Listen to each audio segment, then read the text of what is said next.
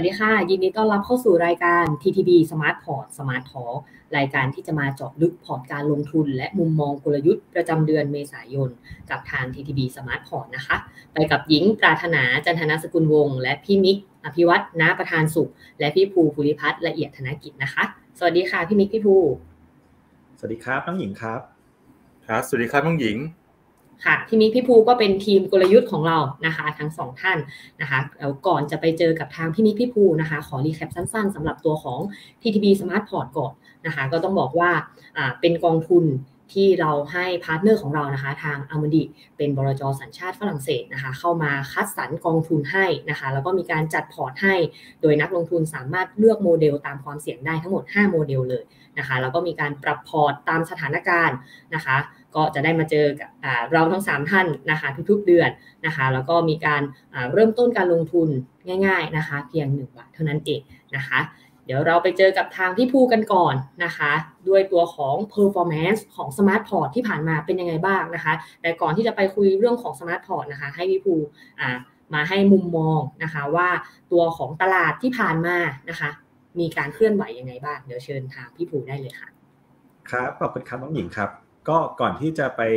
ดู performance ของ TTP Smart Port นะครับ มาดูภาพรวมตลาดการลงทุนในเดือนมีนาคมกันก่อนนะครับ ก็ตามที่เราวงกรอบไว้ด้านขวามือนะครับ ทั้ง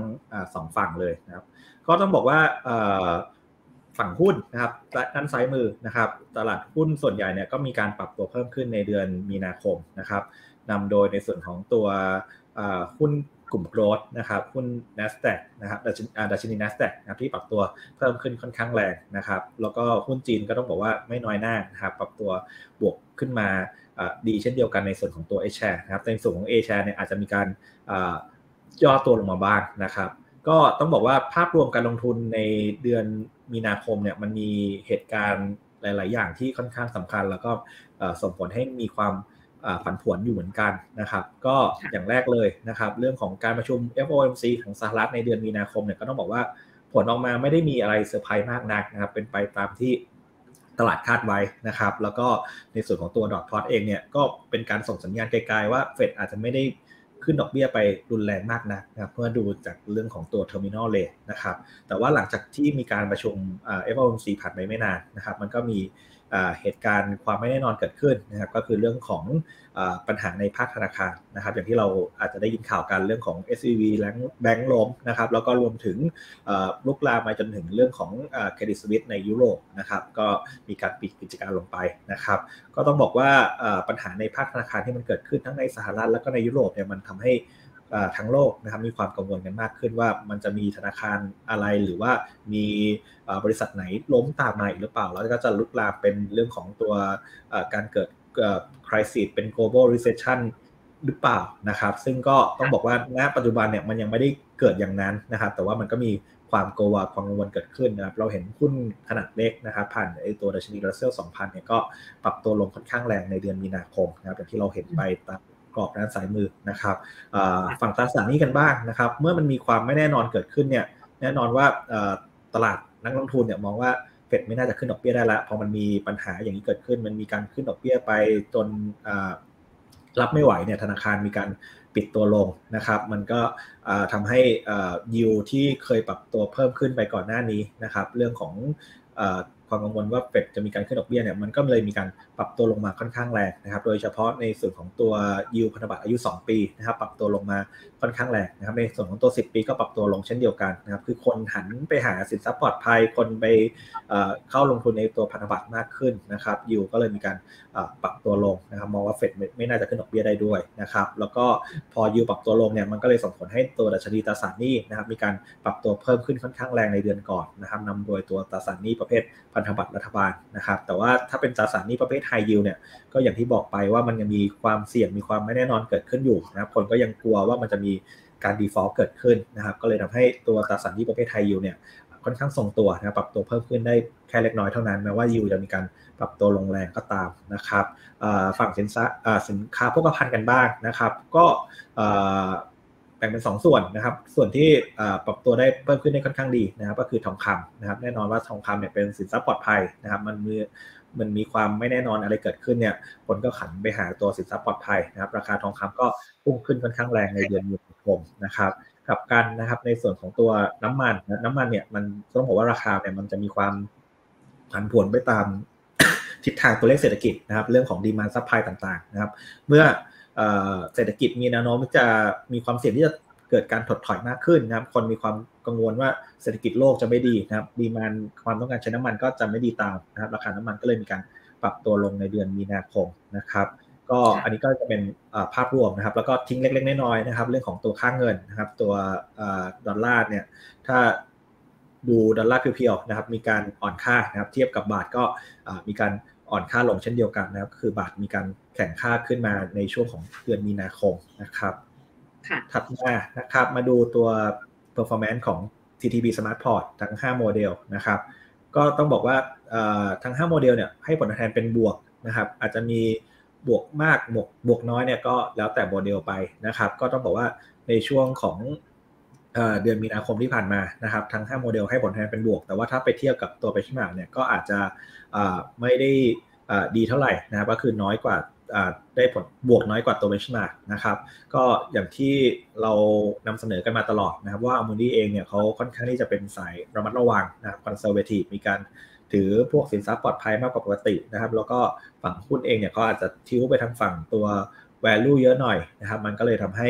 อ่าอ่า performance อาจจะไม่ได้ดีเมื่อเทียบกับฝั่งอ่าใน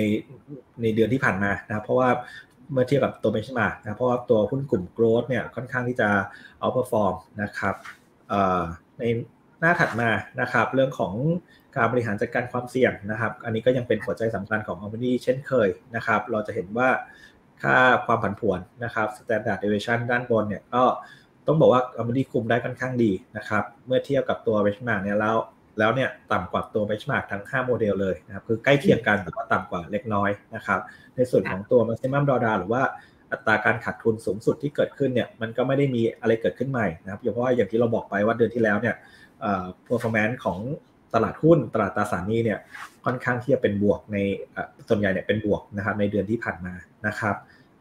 มาดูเรื่องของเจาะลึกผลตอบแทนกันบ้างนะครับ เรื่องของการทำ attribution นะครับ ก็ต้องบอกว่า อย่างที่เราบอกไปนะว่ามันมีการแพ้ benchmark ในเดือนที่แล้วนะครับ เมื่อเทียบกับตัว benchmark เนี่ยเรื่องของ attribution มันอาจจะมีการติดลบไปบ้างนะครับ แต่ว่าผลตอบแทนโดยรวมต้องย้ำว่าเป็นบวกนะครับในเดือนมีนาคมนะไม่ได้ติดลบแต่อย่างใดนะครับเรื่องของถ้าเราแบ่งการวิเคราะห์เป็นส่วนๆนะครับ ส่วนแรกก็เรื่องของตัว global allocation นะครับ ก็มีการกระจายไปลงทุนในส่วนของตัว สินค้าโภคภัณฑ์นะครับแน่นอนว่าตรงนี้เป็นลบนะครับฝั่งพอร์ต 5 มีการถือครองเงินสดนะครับก็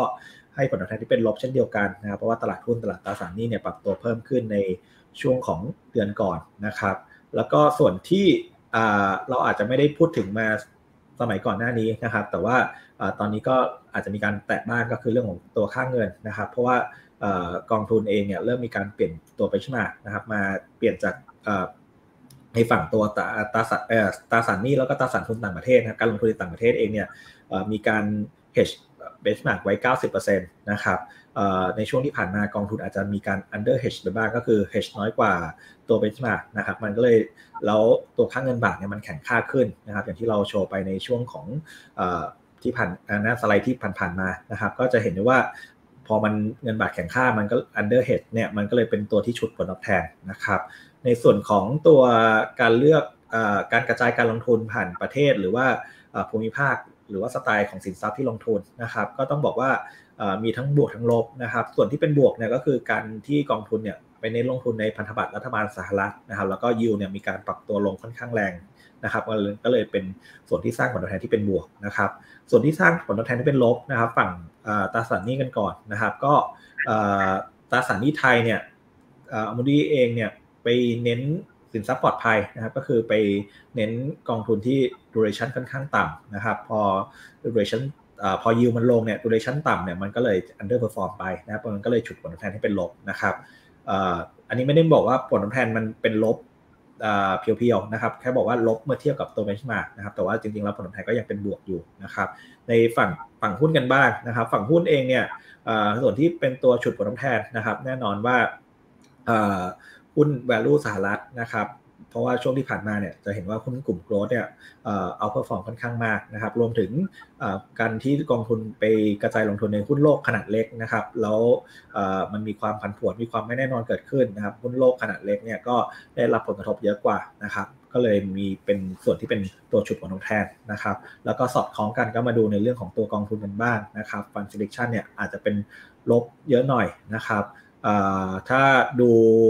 เร็วๆนะครับ ตัวฝั่งที่ให้ผลตอบแทนเป็นบวกฝั่งตราสารหนี้นะครับ ก็จะมีตัว f i d e l i t y US Dollar Bond นะครับ p i c t e US Government Bond นะครับ อันนี้ก็ได้เต็มๆจากเรื่องของตัวพันธบัตรรัฐบาลสหรัฐที่ยิวมันมีการปรับตัวลงแรงนะครับ แล้วก็กองทุนตราสารหนี้ไทยก็เป็น KFA Fix นะครับ เพราะว่า duration จะยาวหน่อยนะครับ ฝั่งที่ duration สั้นอย่างตัว K Cash เนี่ยก็ให้ผลตอบแทนที่เป็นลบนะครับ แล้วก็ เมื่อเทียบกับตัว benchmark นะครับแล้วก็ตัว PIMCO global bond แล้วก็ Wellington global bond เนี่ยก็เป็นตัวฉุดนะครับฝั่งหุ้นกันบ้างนะครับ ส่วนที่เป็นบวกก็จะมีอย่างตัว กองทุนหุ้นจีนนะครับอย่าง Schroder China Opportunity Fund นะครับรวมถึง Amundi Polen Global Capital Growth นะครับอันนี้ก็เน้นลงทุนในหุ้นกลุ่ม growth นะครับก็ให้ผลตอบแทนที่เป็นบวกเมื่อเทียบกับ benchmark นะครับก็หุ้นไทยก็จะเป็นตัว KT Set 50นะครับที่ทำได้ดีกว่าตลาดหุ้นไทยโดยรวมนะครับฝั่งที่เป็นตัวชุดผลตอบแทนกันบ้างนะครับก็คือจะเป็นตัวหุ้นโลกขนาดเล็กนะครับตัว G Goldman Sachs Global Small Cap นะครับ Goldman Sachs Global Core นะครับแล้วก็ หุ้น value สหรัฐผ่านกองทุน Neuberger Berman US Large Cap Value Fund นะครับ อันนี้ก็เป็นตัวชุดผลตอบแทนในเดือนมีนาคมที่ผ่านมานะครับค่ะ ก็ต้องบอกว่าเดือนมีนาคมนะคะ ตัวของ Smart Port เองก็ทำผลตอบแทนเป็นบวกได้นะคะ แล้วก็คุมความเสี่ยงได้ก็ค่อนข้างดีด้วยเช่นกันนะคะงั้นเดี๋ยวเราไปดูเรื่องของ Smart Outlook กันนะคะ ประจำเดือนเมษายนนี้นะคะ ว่าตัวของอมุมมองกลยุทธ์ของทางอเมริกเป็นยังไงบ้างนะคะ แล้วก็พอร์ตการลงทุนนะคะ ในช่วงเข้าสู่เดือนเมษายนตรงนี้เนาะว่าพอร์ตการลงทุนของอเมริกทั้ง 5 โมเดลเป็นยังไงบ้าง เดี๋ยวขอเชิญพี่ภูต่อได้เลยนะคะ ครับ เช่นเคยนะครับ เรามาให้เปิดหน้าพอร์ตให้ดูกันเลยนะครับ ทั้ง 5 โมเดลนะครับถ้าใครเป็นแฟนๆรายการของเราติดตามรายการของเราตลอดเนี่ยก็เห็นว่าอาจจะมีการเปลี่ยนแปลงมากเล็กน้อยในเดือนนี้นะครับ ก็มีสินทรัพย์หนึ่งที่หายไปนะครับ ก็คือตัวสินค้าโภคภัณฑ์นะครับ ก็หายออกไปแล้วเรียบร้อยนะครับ ในส่วนของรายละเอียดของสินทรัพย์อื่นๆนะครับ ก็จะมี5บวก1สินทรัพย์เช่นเคยนะครับ สินทรัพย์แรกตัวเงินสดเนี่ยก็เป็นเรื่องของการบริหารสภาพคล่อง แล้วก็เป็นใช้ในกรณีที่มันมีความไม่แน่นอนค่อนข้างสูง อาจจะมีการถือครองเงินสดเยอะหน่อยนะครับ กองทุนตราสารนี้ไทยนะครับ ก็มีบางส่วนที่คล้ายๆเงินสด ก็คือกองทุนตลาดเงินอย่างตัว K Cash นะครับแล้วก็นอกนั้นก็จะมีกองทุนทั้งตัวตราสารนี้ระยะสั้น แล้วก็ตราสารนี้ระยะกลางยาวนะครับ ผ่านกองทุนอย่างตัวระยะสั้นเนี่ยก็ไล่มาตั้งแต่ตัวกลุ่ม KTS KTS Team Plus นะครับรวมถึงตัวกรุงไทย 1Y 3Y นะครับกองทุนที่บริหารได้ flexible หน่อยก็จะเป็นตัว KFIX แล้วก็ KFA Fix นะครับ กองทุนตราสารหนี้ต่างประเทศนะครับ ถ้าดูหน้าพอร์ตเนี่ยจะเห็นว่าจะเน้นการลงทุนฝั่งพันธบัตรนะครับ แล้วก็เน้นในส่วนของตัวสหรัฐเป็นพิเศษนะครับ อย่างตัว core พอร์ตที่เน้นลงทุนในพันธบัตรก็จะมีอย่างตัว PIMCO GS Global Bond นะครับบริ n ตัน Global Bond นะครับลงทุนในมีการเน้นสหรัฐเพิ่มขึ้นก็จะมีตัว Fidelity Fidelity US Dollar Bond นะครับ แล้วก็ Pictet US Government Bond นะครับ ฝั่งหุ้นไทยนะครับ ก็ข้อหลักก็จะเป็นตัวหุ้นขนาดใหญ่หน่อย ผ่านกองทุนเคสตานะครับกองทุนที่แล้วก็ตัว Tisco Long Term Equity นะครับอันนี้ก็เน้นลงทุนในหุ้นขนาดใหญ่นะครับแล้วก็รวมถึงถ้าดูเฉพาะเจาะจงในเซ็ต50เลยก็จะมีตัวกรุงไทยเซ็ต50นะครับที่กองทุนที่อาจจะทิ้วมาทางฝั่งmid small ได้บ้างนะครับก็จะมีอย่างตัวกรุงไทย Smart Equity นะครับรวมถึงตัวทิสโก้ s t r a t e g i c Fund นะครับแล้วก็ในพอร์ต 5 ที่รับความเสี่ยงได้สูงสุดเนี่ยก็จะมีการลงทุนใน หุ้นขนาดกลางขนาดเล็กนะครับผ่านกองทุน K Mid Small ด้วยนะครับ แล้วก็มีการใช้ตัว ETF e x e c e r MSCI Thailand นะครับในการบริหารจัดการพอร์ตการลงทุนด้วยนะครับกองทุนหุ้นทั่วโลกนะครับมีทั้งกองทุนที่ลงทุนทั่วโลกและเป็น core พอร์ตอย่างตัว GS Global Core นะครับมีกองทุนที่กระจายลงทุนในหุ้นหลากหลายสไตล์นะครับอย่างตัว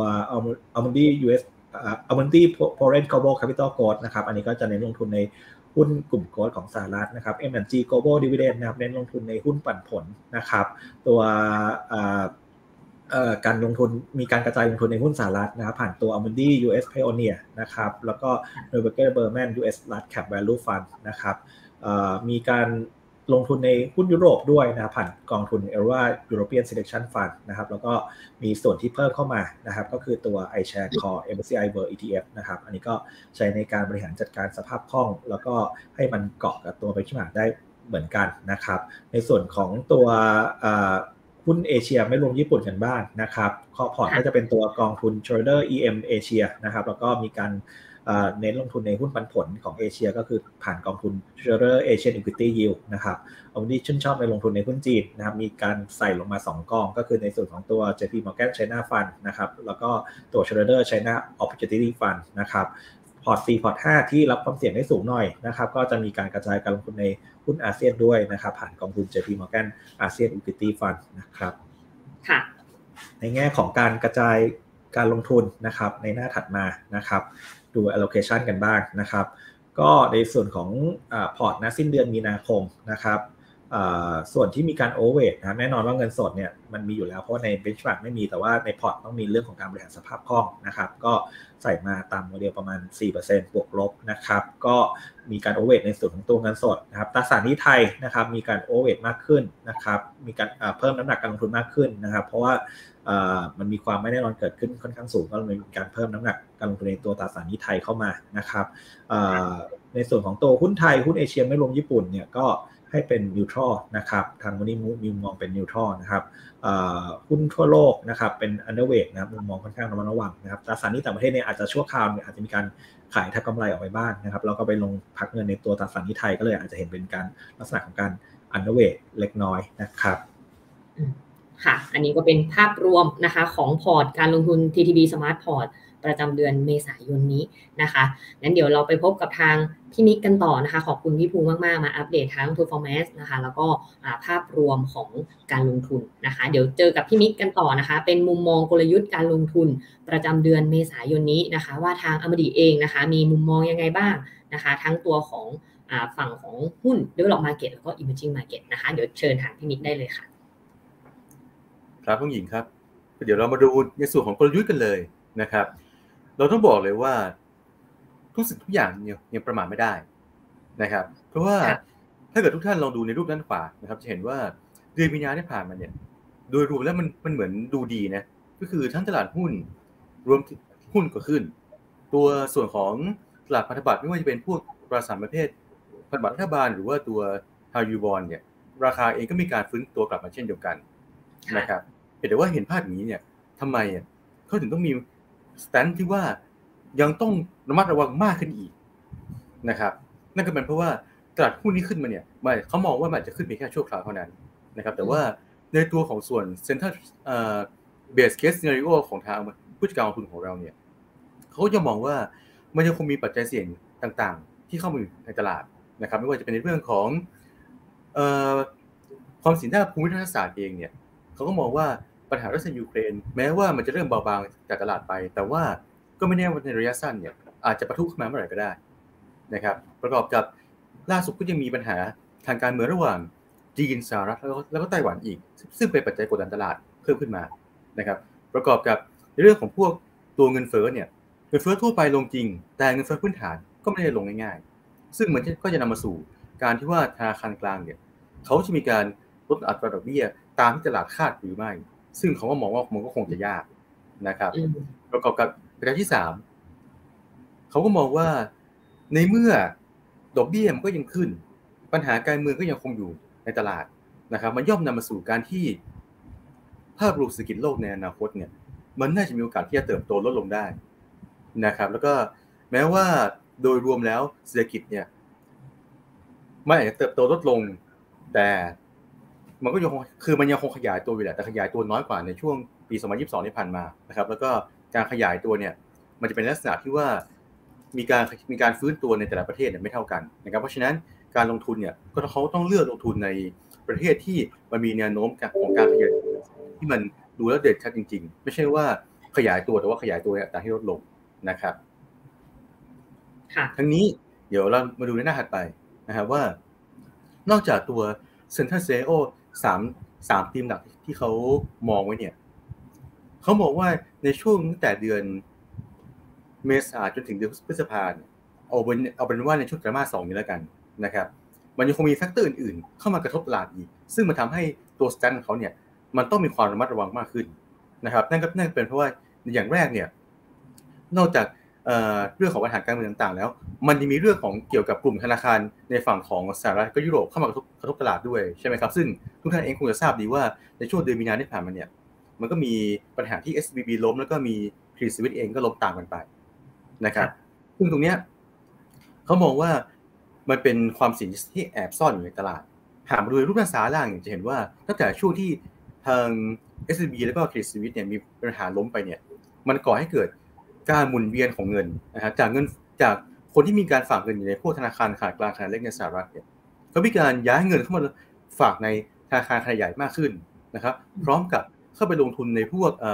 กอง money market fund ต่างๆ ที่เรียกได้ว่าเป็นสินทรัพย์ปลอดภัยเลย อย่างเช่นพวกตัวตั๋วเงินคลังระยะสั้นๆของสหรัฐเป็นต้นนะครับ ตรงนี้เป็น indicator หนึ่งที่เขามองว่าเอ๊ะแสดงว่ามีมันมีนักลงทุนสองกลุ่มนะที่กลุ่มหนึ่งยังคงมองว่าหุ้นอาจจะขึ้นต่อ โดยอาจจะมีการเบ็ดเรื่องของผลประกอบการ แต่ว่ามันก็จะมีคงมีอีกกลุ่มหนึ่งที่ต้องปลอดภัยไว้ก่อน ต้องไปลงทุนในสินทรัพย์ปลอดภัย พยายามหมุนหมุนออกไปเรื่อยๆนะครับจุดนี้เองเนี่ยเขาก็มองว่าถ้าเกิดภาพคนยังคงคิดอย่างนี้อยู่อย่างต่อเนื่องเนี่ย ก็ไม่แน่ว่าเดี๋ยวหลังจากการที่ประกาศผลประกอบการของในฝั่งสหรัฐเสร็จเนี่ยก็อาจจะมีการขาดทางกำไรออกมา เพื่อมาพักเงินในตราสารหนี้ปลอดภัยไว้ก่อนเพื่อเราดูสถานการณ์ก็เป็นไปได้นะครับ ประกอบกับในเรื่องของตัว ท่าทีของธนาคารกลางเนี่ยจากรูปด้านขวาเราจะเห็นว่า ตัวเงินเฟ้อของประเทศหลักต่างๆไม่ว่าจะเป็นในฝั่งของสหรัฐยุโรปและอังกฤษเนี่ย ตอนนี้มันเหมือนจะมีแนวลดลงนะ แต่ว่ามันเองก็ยังคงอยู่ในระดับสูงนะครับ ซึ่งการที่เงินเฟ้อมันยังคงอยู่ในระดับสูงเนี่ย มันย่อมส่งผลให้ท่าทีของธนาคารกลางเนี่ยเขาก็ไม่แน่ที่จะกลับมามีท่าทีที่ผ่อนคลายลงง่ายๆนะครับ ต้องบอกว่าตั้งแต่ช่วงเดือนมีนาที่ผ่านมา พอคนไปเห็น มันมีข่าวเรื่องแบงก์ล้มขึ้นมาเนี่ย คนมีคนไปคิดไปเองว่า เดี๋ยวธนาคารกลางหลัก ๆ อย่างเช่นเฟดหรือ ECB เนี่ยเขาจะมีการกลับท่าทีมันลดดอกเบี้ยในช่วงครึ่งหลังปีนี้ก็เป็นไปได้นะครับ แต่ผู้จัดการของตัวของเราเขามองว่ามันคงจะไม่ง่ายไม่ง่ายขนาดนั้นเขามองว่าแม้ว่าอย่างเฟดเนี่ยอาจจะมีการหยุดขึ้นดอกเบี้ยได้จริงๆในช่วงกลางปีนี้ แต่พอหยุดปุ๊บเขาอาจจะต้องคงดอกเบี้ยในระดับสูงเนี่ยไปอีกนานเลยอย่างน้อยก็เป็นปีแหละเพื่อที่จะดึงให้เงินเฟ้อมกลับเข้ามาที่ได้ที่ที่เป้าหมายได้ นะครับ ดังนั้นเมื่อท่าทางท่าทีของธนาคารธนาคารกลาง มันจะเป็นแบบนี้อยู่ประกอบกับยังคงมีความเสี่ยงทางหน้าภาคธนาคารเนี่ย มันก็ทำให้ในหน้าถัดไปนะครับเขาเองก็เหมือนที่เราเรียนไปช่วงต้นเขาก็มองว่าให้แบบนี้นะการเติบโตของเศรษฐกิจในฝั่งของ develop market เนี่ยน่าจะน่าจะมีปัญหา คือมันอาจจะไม่ถึงกับถดถอยรุนแรง แต่ว่ามันมีแนวโน้มที่จะเติบโตลดลงอย่างต่อเนื่อง จากนับตั้งแต่ปี 2023 นี้ไปจนถึงปี 2025 นะครับ อย่างเช่นในฝั่งของสหรัฐเนี่ย ทุกท่านดูรูปด้านซ้ายล่าง อันนี้เป็นการประมาณการของ MF นะครับ แต่ว่ามันก็สอดคล้องกับการประมาณการของทางด้านอาร์มูดี้ที่เป็นผู้จัดการลงทุนของเรา นะฮะ ก็คือคนมองว่าสหรัฐเนี่ย ยังไงก็จะยังไงก็ตามน่าจะเติบโตลดลงเรื่อยๆ นะครับ แต่ในขณะที่ฝั่งของ emerging market เนี่ยนำทีมโดยจีน มันมีแนวโน้มที่จะเศรษฐกิจอะมีแนวโน้มจะขยายตัวเพิ่มขึ้นอย่างรวดเร็วใช่ไหมเพราะว่าที่ผ่านมาเขาถูกกดดันจาก ประเด็นประเด็นในเรื่องของการล็อกดาวน์ประเทศเป็นเวลานานมากนะครับ แต่ปัจจุบันเนี่ยเขาก็ได้มาเปิดประเทศแล้วนะครับ ดังนั้นเนี่ยจากภาพรวมเศรษฐกิจที่มันมีการเติบโตที่ต่างกันเนี่ย มันนำมาสู่กลยุทธ์การลงทุนตั้งแต่ช่วงเดือนเมษายนนี้เป็นต้นไปก็คือหนึ่งในฝั่งของตลาดหุ้นเขาเองต้องเน้นการลงทุนในตลาดที่มี economic growth ที่ดีก็คือเน้นการฝั่งเน้นการลงทุนในฝั่งของ emerging market มากกว่า develop market นะครับและในส่วนของตลาดระบาดเนี่ยเขาก็มีการเน้นการลงทุนใน พันธบัตรรัฐบาลมากขึ้น เพื่อรองรับความแน่นอนที่อาจไม่ที่มันอาจจะเกิดขึ้นเข้ามาในตลาดได้ทุกเมื่อนะครับ ส่วนสินค้าโภคภัณฑ์เนี่ยเขาเองก็มีการปรับปรับกลยุทธ์ฮะก็คือ หลังจากที่เขามีมุมมองแล้วว่าตัว economic growth ในระยะข้างหน้า โดยเฉพาะในฝั่งของ develop market เนี่ยน่าจะมีปัญหานะครับดังนั้นเขาจึงลดการลงทุนในพวกสินค้าโภคภัณฑ์อย่างเช่น พวกตัวสัญญาน้ำมันดิบไปก่อนแหละนะครับเพื่อป้องกัน การที่ตัวราคาสินค้าโภคภัณฑ์ดังกล่าวเนี่ยมันจะมีการปรับตัวลงตาม economic growth ที่แย่ลงนั่นเองนะครับ ค่ะ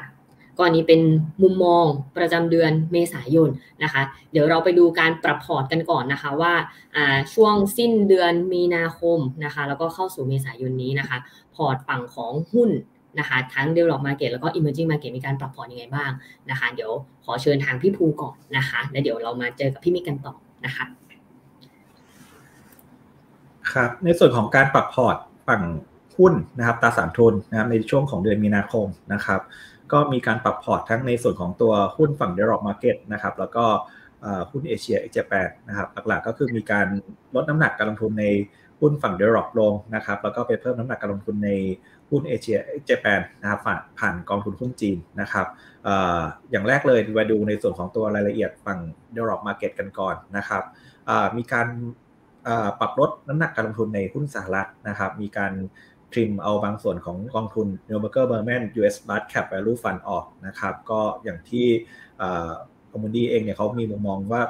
สหรัฐเองเนี่ยมีความเสี่ยงเรื่องของตัวเศรษฐกิจมากขึ้นนะครับ เรื่องของ valuation อาจจะไม่ได้ดีเท่าไหร่นักนะครับ เลยมีการปรับลดน้ำหนักการลงทุนออกไปก่อนนะครับ รวมถึงนะครับมีการปรับลดมีการขายนะครับกองทุนตัว Goldman Sachs Global Small Cap Core Core Equity Fund นะครับ ก็ หุ้นขนาดกลางขนาดเล็กเนี่ยอาจจะมีได้รับผลกระทบเยอะหน่อยนะครับ ก็คือความเสี่ยงมันค่อนข้างสูงนะครับ ในภาวะที่มันมีความไม่แน่นอนเกิดขึ้นนะครับ เราเห็นธนาคารเด็กเล็กเนี่ยมีการล้มปิดกิจการลงไปนะครับ มันก็เลยมีความกลัวกันเกิดขึ้นนะว่าธุรกิจขนาดเล็กเนี่ยมันอาจจะได้รับผลกระทบได้นะครับ ก็เลยมีการขายออกไปก่อนนะครับ ในส่วนของตัว Goldman Sachs Global Small Cap Core นะครับ ถามว่า ไปลงทุนขายแล้วไปลงทุนอะไรนะครับ ก็มี 2 ส่วนด้วยกันนะครับ ส่วนแรกก็คือไปเพิ่มการลงทุนใน Core Port นะครับ ผ่านกองทุน Goldman Sachs Global Core นะครับ แล้วก็อีกส่วนหนึ่งก็เป็น Core เช่นเดียวกันนะครับ แต่ว่าจะเป็นในส่วนของตัว ETF นะครับ ผ่าน iShare Core MSCI World ETF นะครับฝั่งหุ้นเอเชียไม่รวมญี่ปุ่นกันบ้างนะครับ ก็นอกจาก เอาน้ำหนักบางส่วนเนี่ยมามาจากฝั่งตัว develop market แล้วเนี่ยก็มีการปรับลดฝั่งคอบางส่วนของตัวหุ้นเอเชียไม่รวมญี่ปุ่นนะครับก็คือมีการทิมน้ำหนักบางส่วนของตัว Schroeder EM Emerging Asia นะครับออกแล้วก็ไปเพิ่มน้ำหนักการลงทุนในหุ้นที่ในการลงทุนในหุ้นจีนโดยตรงนะครับ ก็คือในส่วนของตัว Schroeder China Opportunity Fund นะครับอันนี้ก็เป็นภาพรวมการปรับพอร์ตการลงทุนในช่วงของเดือนมีนาคมที่ผ่านมาฝั่งตราสารทุนนะครับ ค่ะ ขอบคุณพี่ภูมากเลยค่ะ เดี๋ยวเราไปเจอกับทางพี่มีกันต่อนะคะว่าฝั่งของ develop market แล้วก็ฝั่งของ emerging market ในส่วนของตราสารทุนนะคะ ทางอวดิมีมุมมองยังไงบ้างสำหรับเดือนเมษายนนะคะ เดี๋ยวเจอพี่มิกกันต่อเลยนะคะ ครับก็ในฝั่งของตลาดตลาดหุ้นนะครับ ก็เหมือนที่เราเรียนไปตอนแรกครับว่าด้วยการเติบโตของของเศรษฐกิจมันแตกต่างกันเนี่ยเขาก็ย่อมเน้นการลงทุนในฝั่งของ emerging market มากขึ้นมากกว่าฝั่งของ develop market ใช่ไหมครับ ซึ่งในฝั่งของ develop market เนี่ย อันนี้อาจจะต้องอาจจะต้องคุยกันเยอะหน่อย เพราะว่าเขามีการลด weight ของพี่ใหญ่อย่างสหรัฐลงจาก slightly underweight เป็น underweight เลยนะครับจะเห็นว่าตลาดหุ้นสหรัฐเนี่ยเขามีการลดน้ำหนักการลงทุนมาอย่างต่อเนื่องนะครับแล้วก็เมื่อลดแล้วเนี่ยก็เน้นการลงทุนลงทุนในฝั่งของเรียบร้อยมาเก็ตที่มันมีการกระจายการลงทุนมากขึ้นก็คือลงทุนในหลายประเทศพร้อมกันจะเป็นการดีกว่าที่ไปลงทุนในประเทศใดประเทศหนึ่งนะครับ ซึ่งนั่นก็เป็นเพราะว่าหากทุกท่านเรามาดูในตัวของ การคาดการณ์อีโคโนมิกรัวที่อัมบรีเขาทำเองเลย ในรูปด้านซ้ายล่างนะครับ จะเห็นว่าเขามีความกังวลที่ว่าเดี๋ยวเพราะว่าเศรษฐกิจสหรัฐเนี่ยมันอาจจะมีการเติบโตลดลงอย่างรวดเร็วในไตรมาสสองและไตรมาสสามที่จะถึงนี้นะครับ อันเนื่องมาจาก ในเรื่องที่ว่าดอกเบี้ยมันจะคงอยู่ระดับสูง ประกอบกับมีปัญหาเรื่องของภาคการเงินภาคธนาคารเข้ามากระทบตลาดนั่นเองนะครับ ซึ่งตรงนี้มันก็จะสอดคล้องกับในรูปด้านซ้ายด้านขวาล่างนะครับ เราจะเห็นว่า ณปัจจุบันณตอนนี้เนี่ยตั้งตั้งแต่การที่มันมีปัญหาภาคธนาคารในสหรัฐเกิดขึ้นเนี่ยมันทำให้ภาวะทางการเงินในสหรัฐเนี่ยมันตึงตัวมากขึ้นนะครับ ก็คือจากในรูปกราฟขวาล่างจะเห็นว่ามันเริ่มปรับตัวลงมาต่ำกว่าต่ำกว่าค่าศูนย์การที่มันต่ำลงมาหมายความหมายความว่าภาวะการการเงินตึงตัว ซึ่งตึงตัวแล้วมันเกิดอะไรขึ้น มันก็ทำให้การการปล่อยกู้จากทางแบงก์ลดลง แล้วก็ทำให้การดำเนินกิจกรรมทางเศรษฐกิจต่างๆในสหรัฐเนี่ย มันมีแนวโน้มที่ปรับตัวลงนะครับ ซึ่งมันก็จะนำมาสู่การที่เขานำมาเข้าโมเดลและประมาณการมาว่าเพราะว่าเศรษฐกิจ GDP ตัวของสหรัฐในไตรมาสสองสามเนี่ยมันน่าจะมีแนวโน้มที่จะลดลงต่อเนื่องนั่นเองนะครับในหน้าถัดไปในเมื่อเขามองเขาประมาณการแล้วว่าตัว GDP สหรัฐน่าจะมีแนวโน้มปรับตัวลงต่อเนื่อง มันก็ย่อมนำมาสู่การ revise down ของตัว EPS ของตลาดของตลาดหุ้นสหรัฐในอนาคต นะครับซึ่งในรูปด้านซ้ายล่างนี้เห็นชัดเจนว่าทางมีเขาคาดการแล้วว่าเดี๋ยวในช่วง ผมว่าตั้งแต่ไตรมาสสองของปี 2023 นี่แหละ เดี๋ยว EPS มันมีโอกาสที่จะปรับตัวลงมาอย่างรวดเร็ว ใช่ไหมครับตัวเนี้ย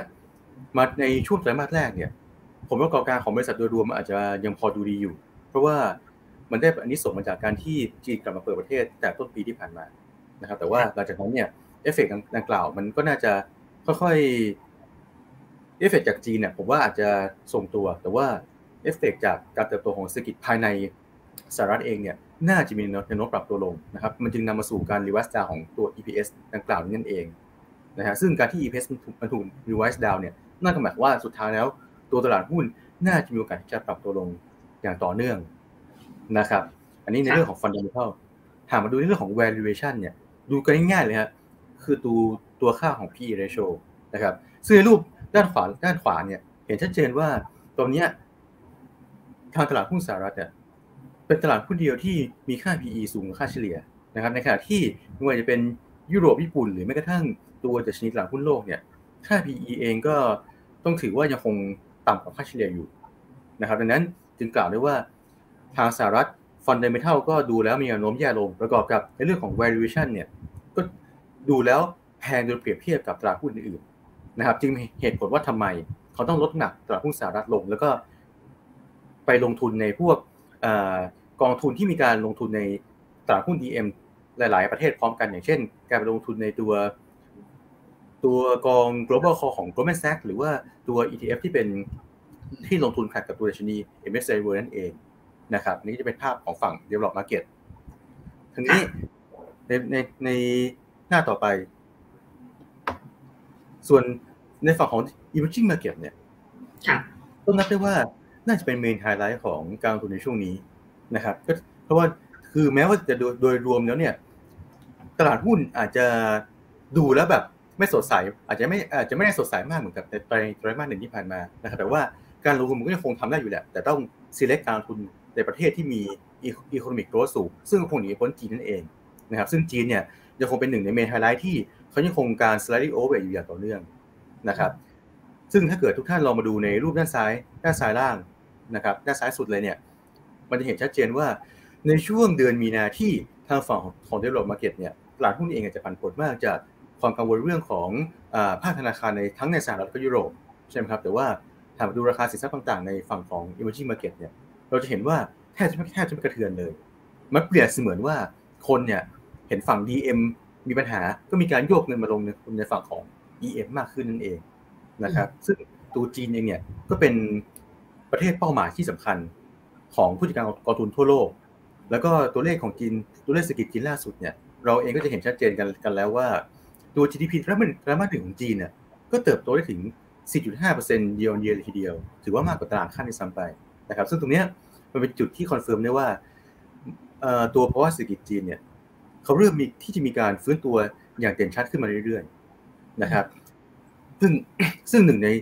ปัจจัยหนึ่งที่ทำให้ตัวเศรษฐกิจจีนมันจะฟื้นตัวได้อย่างต่อเนื่องเนี่ยก็คงหนีพ้นในเรื่องของค่าอสังหานะครับ เพราะว่าค่าอสังหาเนี่ยเรียกได้ว่ามีสัดส่วนใน GDP จีนเนี่ยน่าจะประมาณผมว่าน่าจะประมาณ 20-30%ทีเดียว ถ้าดูจากข้อมูลณปัจจุบันนะครับ ซึ่งตรงนี้เองเนี่ยทางมูลที่เองเขาก็มองว่า เดี๋ยวดีมาในการซื้อบ้านของประชาชนในประเทศจีนเนี่ยมันน่าจะมีแนวโน้มปรับตัวดีขึ้นอย่างต่อเนื่อง นะครับเพราะตอนนี้ทางการจีนเองเนี่ยเขาเองก็มีการผ่อนคลายกฎเบียบต่างๆ ให้คนกลับเข้ามาคนทั่วไปเนี่ยสามารถที่จะเข้าถึงการซื้อบ้านได้มากขึ้นนะครับ ซึ่งเขาเองก็มีการปรับประมาณการยอดขายบ้านของในประเทศจีนเนี่ยเพิ่มขึ้นอย่างต่อเนื่องอีกด้วยนะครับ ซึ่งตรงนี้มันย่อมนำมาสู่การที่เศรษฐกิจจีนเนี่ยน่าจะมีแนวโน้มเติบโตขึ้นต่อไป และนำมาสู่การปรับตัวเพิ่มขึ้นของตลาดหุ้นนั่นเองนะครับ ซึ่งในส่วนตลาดหุ้นจีนเนี่ยหากเขามาดูตัวดัชนี MSCI China ที่เป็นตัวตัวแทนของตลาดหุ้นจีนแล้วกันนะฮะในรูปด้านรูปด้านขวาสุดเนี่ยก็จะเห็นว่าทางอมูดี้เองเขามีโมเดลในการประมาณการครับเขามีการประมาณว่าประมาณการว่าตัวเดชนี MSCI China เนี่ยน่าจะมีแนวโน้มที่จะปรับตัวเพิ่มขึ้นอย่างต่อเนื่องอีกด้วยนะครับจึงเป็นเหตุผลว่าทำไมเขาต้องเพิ่มหนักการลงทุนในหุ้นจีน แล้วก็มีการเพิ่มหนักการลงทุนในกอง shoulder China opportunities มากขึ้นนะครับซึ่งเป็นกองทุนที่มีการลงทุน โดยใช้ตัว MSCI China ที่ดังดังที่กล่าวไปเมื่อกี้เนี่ยเป็นตัว benchmark นั่นเอง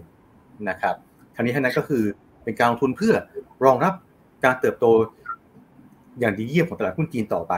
นะครับ ค่ะก็ต้องบอกว่าทางอดีก็ชื่นชอบตลาดหุ้นจีนมาอย่างต่อเนื่องนะคะ อันนี้ก็เป็นภาพรวม ของกลุ่มหุ้นนะคะประจำเดือนเมษายน เดี๋ยวเราไปฝั่งของตราสารหนี้กันบ้างนะคะไปเจอกับทางพี่ภูกันอีกครั้งหนึ่งนะคะ ว่าฝั่งของตราสารหนี้นะคะ มีการปรับพอร์ตยังไงบ้างนะคะ ของเดือนมีนาคมนะคะครับในส่วนของตราสารหนี้แล้วก็สินทรัพย์อื่นๆนะครับ ในเดือนมีนาคมมีการปรับพอร์ตอย่างที่เห็นได้ชัดเลยนะครับ ก็มีการขายตัวกองทุนที่เน้นลงทุนในสินค้าโภคภัณฑ์นะครับ ผ่าน PIMCO GIS Commodity Real Return Fund นะครับออกนะครับ ก็เราอัปเดตกันไปแล้วว่ามุมมองอาจจะไม่ได้ดีเท่าไหร่นักนะครับ ในช่วงที่มันมี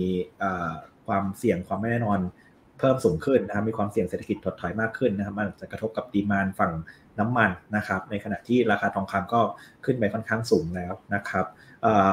นอกจากนั้นนะครับในส่วนของตัวตราสารหนี้ต่างประเทศนะครับ มีการเรียกว่าเป็นส่วนที่เป็น อมูดี้เองเนี่ยใส่เข้ามาเป็น technical bet นะครับ ก็คือเน้นในเรื่องของการเก็งกำไรอยู่แล้วนะครับ พอยิวมันปรับตัวลงค่อนข้างเยอะนะครับ ก็เลยมีการขายทบกำไรออกมานะครับ บางส่วนนะครับในส่วนของตัวกองทุน p i กเต้ USD Government Bond นะครับ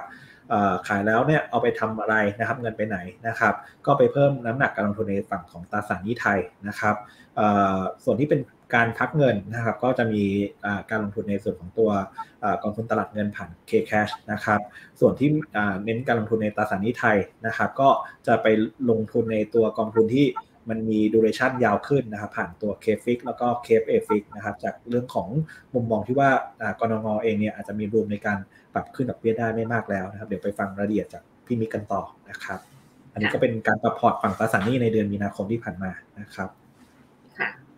ก็อันนี้เป็นฝั่งของตราสารหนี้นะคะ เดี๋ยวไปเจอกับทางพี่มิกันต่อนะคะ ว่าทางอมดีมีมุมมองกลยุทธ์การลงทุนของเดือนเมษายนในฝั่งของตราสารหนี้ไม่ว่าจะเป็น develop market นะคะของไทยนะคะ แล้วก็รวมถึงมุมมองของสินค้าผู้ขภัณฑ์กันด้วยนะคะ เดี๋ยวเชิญทางพี่มิกได้เลยค่ะ ครับคุณหญิงก็ต้องบอกว่าในฝั่งของตราสารหนี้เนี่ยเขาเองก็มีการปรับมุมมองที่ค่อนข้างเยอะเลยทีเดียวนะครับ ซึ่งจากเอาเริ่มจากในฝั่งของ develop develop market ก่อนก็คือ จากที่เขา เคยชื่นชอบการลงทุนในพวกหุ้นกู้ที่มีเรตติ้งดีๆที่อยู่ในระดับของ investment grade ตอนนี้ต้องบอกว่าเขากลับมาสนใจการลงทุนในตัวพันธบัตรรัฐบาลมากขึ้นนะครับ เพราะอะไรนั่นก็เป็นเพราะว่าจากการที่เราเรียนมาแล้วว่า ตัว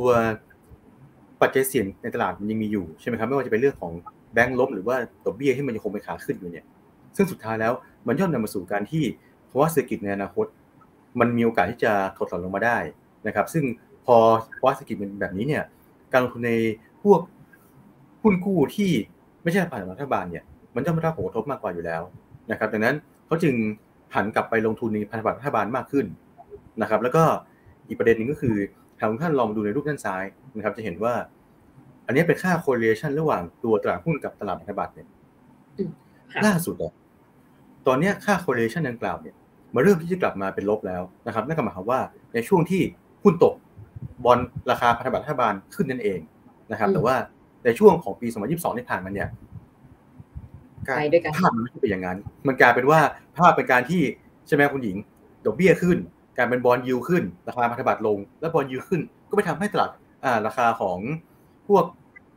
ดัชนีตลาดหุ้นต่างๆเนี่ยมีการปรับตัวลงเหมือนกันนะครับ เพราะฉะนั้นในปี 2022 ที่ผ่านมาถึงเรียกได้ว่าเป็นปีพิเศษที่การ นำพันธบัตรรัฐบาลเข้ามาในพอร์ตเนี่ยอาจจะไม่ได้ช่วยในการกระจายกระจายความเสี่ยงได้นะครับ แต่ว่าตอนนี้ค่าเขาเรียกว่าภาพรวมของตลาดการเงินเนี่ยมาเริ่มกลับไปปกติแล้วนะครับ ก็คือตอนนี้ยูยูยูเนี่ยการลงทุนในพันธบัตรรัฐบาลเนี่ยมันเริ่มที่จะสามารถเห็นความไม่แน่นอนของตลาดหุ้นในอนาคตได้นะครับจึงเหตุว่าทำไมเขาถึงต้องมีการลดพวกพันธบัตรประเภท investment grade ลงแล้วก็ไปลงทุนในพันธบัตรรัฐบาลมากขึ้นนั่นเองนะครับอันนี้เป็นภาพรวมของฝั่ง developed market แต่ในส่วนหน้าถัดไปในส่วนของไทยเนี่ยเขาเริ่มมีการหน้าถัดไปนะครับ ส่วนของตราสารหนี้ไทยเขาก็เริ่มมี action มากขึ้นแล้วนะฮะจากที่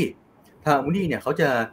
มีการลงทุนถ้าเป็นตลาดไทยนะเขาจะเน้นการลงทุนในกองมูนี่มาเก็ตเป็นหลักเลย ซึ่งนานนานมากแล้วนะครับ ก็คือตั้งแต่ในปีที่แล้วเนี่ยมันเป็นช่วงที่ทางแบงก์ชาติเรามีการขึ้นดอกเบี้ยตามเฟดนั่นเองนะครับ มันก็เลยทำให้พวกตราสารระยะกลางยาวเนี่ย น่าจะเสียเขาเรียกว่ามีราคาปรับตัวลงอันเนื่องมาจาก ดอกเบี้ยที่เป็นขาขึ้น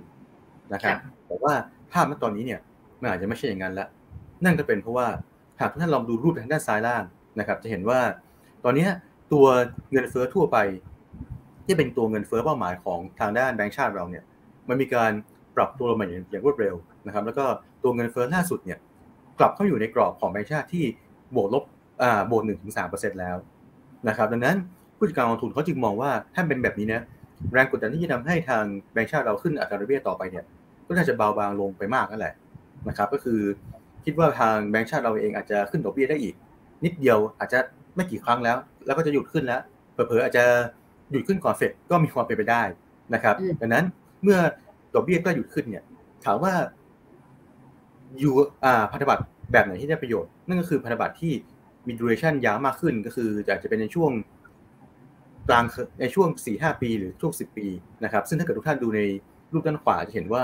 ตัว yield curve ของไทยเนี่ยเอาดูง่ายๆเลยคือดูจากที่ตัวเส้นสีดำเทียบกับเส้นจุดสีน้ำเงินนะครับ ก็คือจุดสีน้ำเงินคือ yield curve ณต้นปี แต่เมื่อเทียบกับเส้นสีดำที่เป็น yield curve ณปัจจุบันนี้เนี่ยจะเห็นว่าตัว yield ของพันธบัตรระยะกลางกับยาวเนี่ยมันมีการปรับปรับตัวลงอย่างต่อเนื่องนะครับในขณะที่ตัวระยะสั้นเนี่ยอาจจะทรงทรงตัวอยู่ หรือมีการปรับขึ้นเล็กน้อยตามการปรับขึ้นดอกเบี้ยนโยบายของทางพบทนะครับ ดังนั้นจึงเหตุผลว่าทำไมเขาถึงต้องมีการปรับน้ำหนักการลงทุนในตลาดพันธบัตรไทยเนี่ยจากไซเอนเวทเป็นยูเทลแล้วก็เพิ่มดูเรชั่นในฝั่งปรัชนีไทย โดยมีการเข้าไปลงทุนในตัวกอง KFIX กับ KFA FIX เพิ่มขึ้นนั่นเองนะครับค่ะเราไปดูฝั่งของสินค้าโภคภัณฑ์กันบ้างค่ะพี่มิกว่าทางดีมีมองยังไงบ้างเพราะว่า ที่ผ่านมาก็มีการขายออกไปหมดเลยเหมือนกันค่ะใช่ครับ เพราะว่าในหน้าถัดไปก็แต่ต้องบอกต้องบอกว่าเขาได้ตัดสินใจถูกนะคุณหญิงใช่ไหมเพราะว่าถ้าดูหน้าถัดไปนะครับ เราก็จะเห็นว่าตัวในรูปด้านซ้ายล่างเนี่ยตัวราคาน้ำมันเองมันก็ปรับตัวลงนะราคาทองคำเองมันก็ไม่ไปไหนแล้วนะครับนั่นก็เป็นเพราะว่าตัวส่วนของราคาทองคำเนี่ย ต้องบอกว่าที่ผ่านมา ที่มันสามารถปรับเพิ่มขึ้นมาเกินระดับ 2,000 ดอลลาร์ต่อออนได้เนี่ย มันมาจากการที่ดอลลาร์มันอ่อนค่านั่นเอง เพราะว่าคนไปต้องเรียกได้ว่าคนแบบไป price ไป price in ท่าทีของเฟดที่จะลดดอกเบี้ยอย่างรวดเร็วมากจะเกินไปนะครับ แต่ว่าถ้าสุดท้ายแล้วทางเฟดเองเขาไม่ได้มีการลดดอกเบี้ยเหมือนที่นักลงทุนคาดเนี่ย ตัวค่าเงินดอลลาร์มันก็มีโอกาสที่จะแข็งค่ากันในระยะสั้นได้ แล้วก็กดดันการลงทุนในทองคำนะครับ ส่วนของตัวน้ำมันเนี่ยเขาก็มองว่า ในระยะสั้นมันมีโอกาสที่ปรับตัวลงได้นะนั่นก็เป็นเพราะว่าตอนแรกน้ำมันเด้งมาจากการที่คนไปตอบสนองต่อข่าวที่ OPEC Plus เนี่ยเขาจะมีการ cut supply มากขึ้นใช่ไหมครับ แต่สุดท้ายแล้วเนี่ยราคาน้ำมันเองมันก็ไม่ไปไหน นั่นก็เป็นเพราะว่า supply อาจจะลดลง แต่ในขณะที่ตัว demand เนี่ยมันก็ลดลงตามไปด้วย เพราะว่าถ้าเพราะว่าเศรษฐกิจของประเทศหลักอย่างสหรัฐเนี่ยมันมีแนวโน้มที่จะเติบโตลดลงเนี่ย และสหรัฐเองก็ถือว่าเป็นหนึ่งในประเทศที่มีการนำเข้าน้ำมันเป็นปริมาณปริมาณมากนะครับดังนั้นมันจึงส่งผลให้สุดท้ายแล้วตัวความต้องการในการใช้น้ำมันในตลาดโลกเนี่ยมันลดลงมาแมชกับซัพพลายและทำให้ราคาน้ำมันเนี่ยมันคงมันก็คงจะไม่ไปไหนนะครับด้วย 2 ปัจจัยที่ดังกล่าวเนี่ยทองคำก็แพงน้ำมันก็จะลงเขาจึงตัดสินใจที่จะ เอาการลงทุนในส่วนของสินค้าโภคภัณฑ์เนี่ยออกไปก่อนจะดีกว่านะครับแล้วก็ไปลงทุนหันไปลงทุนในพวก ตลาดหุ้นจีนหรือว่าตลาดพันธบัตรในส่วนของตลาดในส่วนของพันธบัตรรัฐบาล มันจะเป็นการที่สามารถช่วยเพิ่มผลตอบแทนให้กับตัวกองทุนได้ดีกว่านะครับ แล้วก็สุดท้ายในส่วนของตัวค่าเงินนะครับ ก็ต้องบอกว่าตอนนี้ทาง Amundi เองเขายังคงการ hedging ที่ยังคงการ hedge hedging อยู่ในประมาณ 90กว่าเปอร์เซ็นต์อยู่นะครับ เพราะว่าเขาก็มองว่าในระยะกลางถึงยาวเนี่ย สุดท้ายแล้วค่าเงินบาทก็มีโอกาสที่จะกลับมาแข็งค่าอยู่นะครับ จาก ในรูปด้านขวาจะเห็นว่าปัจจุบันนี้เนี่ยค่าเงินบาทค่าเงินบาทเอง มันยังคง under value อยู่เลยนะครับซึ่งที่มัน under value เป็นเพราะอะไรนี่เป็นเพราะว่าที่ผ่านมาในปี 2022 เนี่ยต้องบอกว่าค่าเงินดอลลาร์มันอ่อนอันแข็งค่าขึ้นมาเร็วมากจนเกินไป จากการ price in ค่าทีงเฟดที่จะขึ้นดอกเบี้ยไปอยู่อย่างต่อเนื่อง แต่ณตอนนี้เนี่ยแม้ว่าดอกเบี้ยจะไม่ลงแต่สุดท้ายก็คงจะทรงตัวนะครับเพราะฉะนั้นแรงส่งที่ทำให้ค่าเงินดอลลาร์มันกลับไปแข่งค่าแบบโอ้เป็นระดับ ตัว DX ตัวดอลลาร์อินเด็กซ์เนี่ยเกินกว่า1 110 จุดเหมือนในช่วงปี 2022 ที่ผ่านมาเนี่ยก็คงจะเป็นไปได้ยากมากแล้วนะครับดังนั้นทุกคนก็ทุกท่านก็สบายใจได้ เพราะว่าต่อให้บาทแข็งเนี่ยก็คงจะไม่กระทบกับ performance ของกองทุน TSP ของเรา เพราะว่าผู้จัดการกองทุนเนี่ยเขามีการ hedging ไปเรียบร้อยแล้วนะครับ ค่ะ ก็ขอบคุณพี่มิกมาก ๆ เลยค่ะ อันนี้เป็นภาพรวมของฝั่งทั้งตราสารหนี้ develop market emerging market นะคะ แล้วก็กลุ่มสินค้าโภคภัณฑ์นะคะ ก็เดี๋ยวหน้าถัดมาเลยนะคะ อันนี้สรุปในเรื่องของที่พี่มิกพี่ภูนะคะเล่ากันมานะคะ ฝั่งของกลุ่มหุ้นนะคะ ทางอดีตก็ยังให้มุมมองเป็น slightly underweight นะคะ แล้วก็มีปัจจัยที่ต้อง ระมัดระวังนะคะอยู่ 3 เรื่องนั่นก็คือเรื่องของภูมิรัฐศาสตร์นะคะไม่ว่าจะเป็นรัสเซียยูเครนนะคะหรือว่าอเมริกากับจีนนะคะแล้วก็เรื่องที่ 2 จะเป็นเรื่องของเงินเฟอ้อพื้นฐานนะคะที่ทางอเมริกมองว่าคงยังไม่ได้ลงง่ายๆนะคะแล้วก็คาดว่าเฟดหรือธนาคารกลางของสหรัฐเองนะคะอาจจะมีการหยุดขึ้นอัตราดอกเบี้ยในช่วงปลายปีนี้อขอโทษค่ะในช่วงกลางปีนะคะแต่ว่าตัวของดอกเบี้ยเนี่ยออาจจะต้องยังคงอยู่ในระดับสูงไปอีกนาน นะคะ รวมถึงธนาคารกลางของฝั่งยุโรปเองนะคะ ก็ยังมีแนวโน้มที่จะขึ้นอัตราดอกเบี้ยต่อด้วยเช่นกัน ส่วนเรื่องที่3นะคะที่ทางอเมริกก็ยังระมัดระวังอยู่นั่นก็คือเรื่องของภาวะเศรษฐกิจโลกนะคะ ในปีนี้อาจเติบโตลดลงนะคะ โดยเฉพาะฝั่งของ develop market นะคะขณะที่ฝั่งของ emerging market นะคะทางอเมริกมองว่ามีแนวโน้มฟื้นตัวได้ดีนะคะ โดยเฉพาะตลาดหุ้นของจีนนั่นเอง นะคะ โดยสรุปแล้วนะคะ ตัวของกลยุทธ์นะคะ ที่ทางอมริให้มานะคะ แต่ละสินทรัพย์ นั่นก็คือฝั่งของตลาดหุ้นอมริชอบกลุ่ม emerging market มากกว่า develop market นะคะ ส่วนตราสารหนี้เน้นไปทางพันธบัตรรัฐบาลนะคะ ส่วนของสินค้าโภคภัณฑ์ลดน้ำหนักการลงทุนนะคะ แล้วก็ที่พี่ภูโชว์โมเดลของเราให้ดูนะคะ สินค้าโภคภัณฑ์ตอนนี้เนี่ย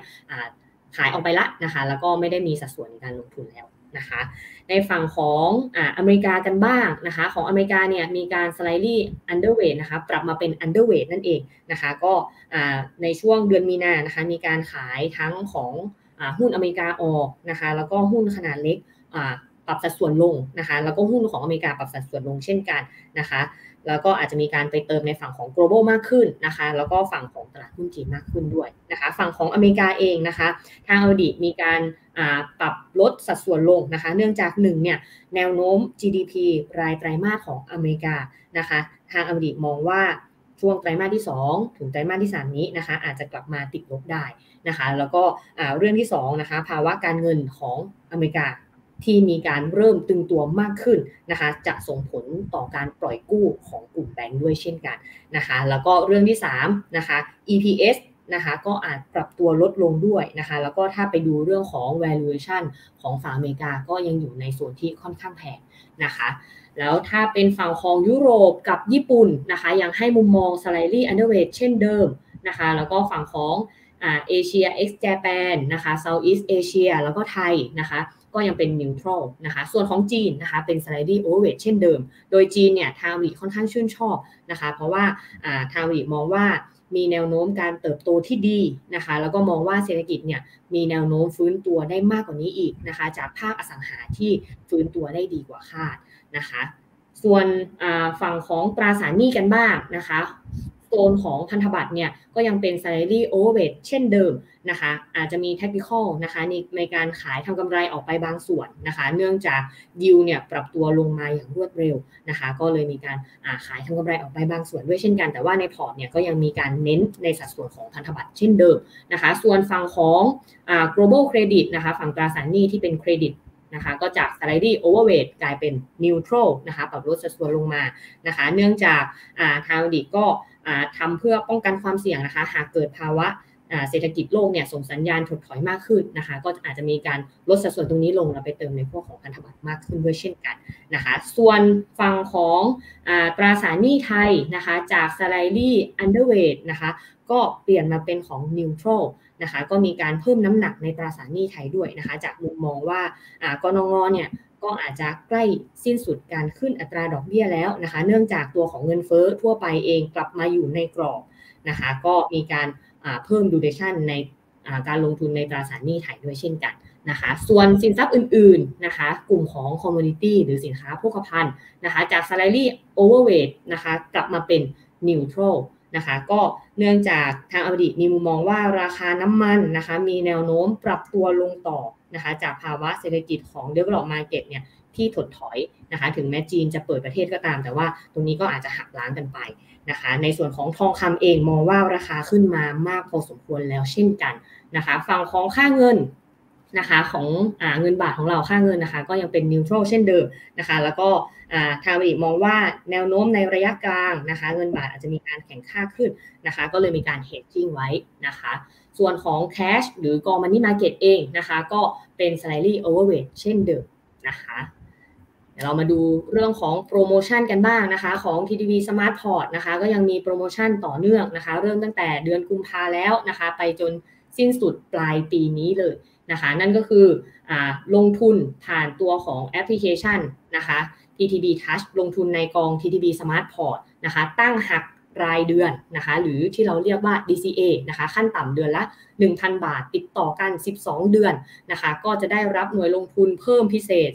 0.2%นั่นเองนะคะก็ถ้าท่านใดยังไม่ได้ลงทุนนะคะ ก็สามารถตั้งหักรายเดือนได้นะคะและก็ไม่ให้พลาดทุกข่าวสารการลงทุนนะคะ ก็สามารถติดตามกับทางทีมกลยุทธ์ของเราได้ทางพี่มิกพี่ภูนะคะ ผ่านทางไลน์นะคะ ก็ @ttb advisory นะคะ แล้วก็ Facebook นะคะ ttb advisory แล้วก็ผ่านทางลิงก์นะคะ ttbbank.com นะคะ หรือสามารถโทรเข้ามาสอบถามได้ที่ 1428 กด sharp 4นั่นเองนะคะสำหรับวันนี้ข้อมูลเนื้อหาค่อนข้างครบถ้วนนะคะ ขอบขอบคุณทางพี่มิกพี่ภูมากๆนะคะ แล้วก็ทีมงาน TTB Smart Port Smart Talk นะคะ แล้วเดี๋ยวเรากลับมาเจอกันในเดือนหน้านะคะสำหรับวันนี้ขอบคุณและสวัสดีค่ะ ให้ชีวิตการเงินดีทั้งวันนี้และอนาคต TTB เปลี่ยนเพื่อให้ชีวิตคุณดีขึ้น